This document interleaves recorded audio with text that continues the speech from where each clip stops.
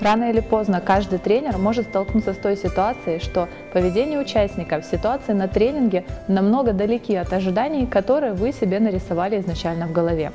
Бывает так, что вы проводите тренинг, рассказываете о себе, о программе тренинга, и дальше что происходит? Вы уже подходите к этапу ввода правил, и тут кто-то из участников говорит, а давайте сегодня без правил.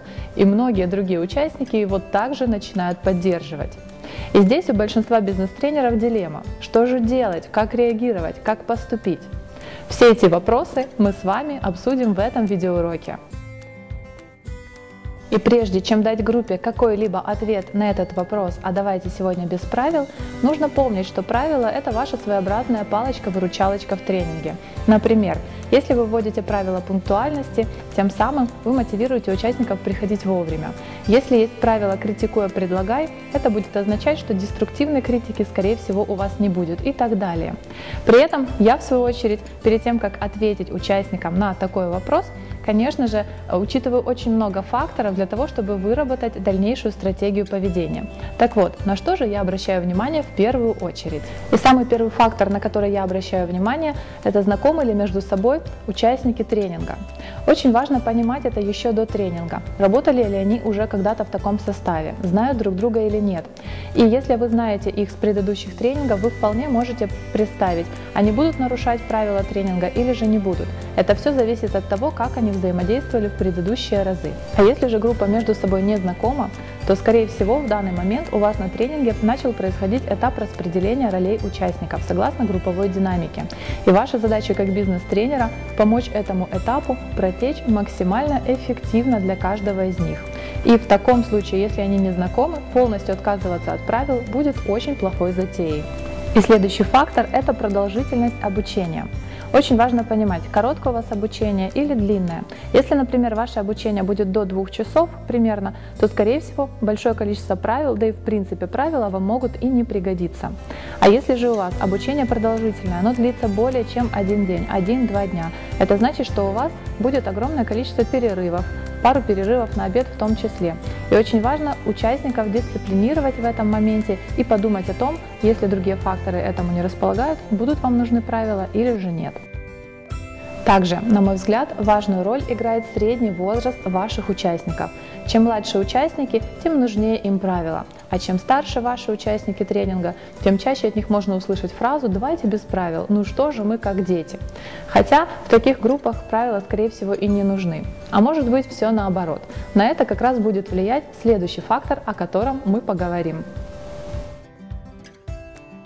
Одинаковые ли должности у ваших участников и нет ли между ними конфликтов, как личных, так и профессиональных?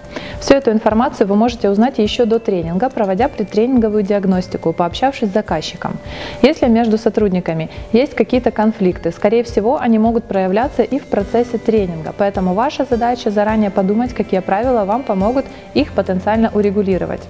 Также, если есть люди, которые представляют разные отделы или разные проекты и разные направления, и между ними в компании не налажено взаимодействие, то здесь без правил вам тоже не обойтись. Также роль играет специфика тех форм активности, которые вы будете использовать на тренинге. Если у вас предусмотрено командное взаимодействие или групповые дискуссии, то в таком случае правила будут как нельзя кстати. Если же у вас, в принципе, однотипные формы активности на тренинге запланированы, то просто подумайте, что будет, если у вас правил не будет вообще, к чему это может привести. Все эти факторы очень важны для того, чтобы принять решение, соглашаться с группой, работать без правил или же нет. Как же я поступаю, если от моей группы участников звучит такой вопрос? Но в первую очередь я даю им возможность самим решить, как им удобнее работать. Я говорю, коллеги, у нас прозвучало предложение работать сегодня без правил, все ли его поддерживают? И в этот момент я смотрю на их реакцию. Если же в первую минуту воцарилась полная тишина, то скорее всего кто-то обязательно скажет, а давайте вот это правило ведем и вот это.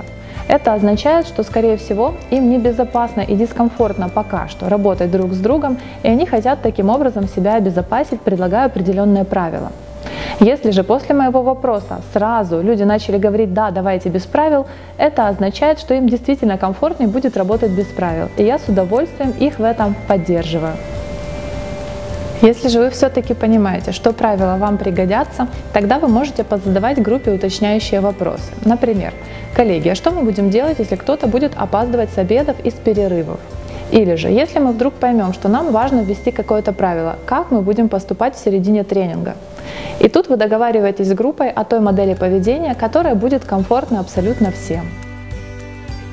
Если же я, наоборот, в самом начале тренинга понимаю, что группе лучше работать без правил, то я им сразу и говорю, коллеги, а давайте сегодня будем работать без правил. Мы все с вами взрослые люди, скорее всего, уже сами знаем, чего нам стоит придерживаться.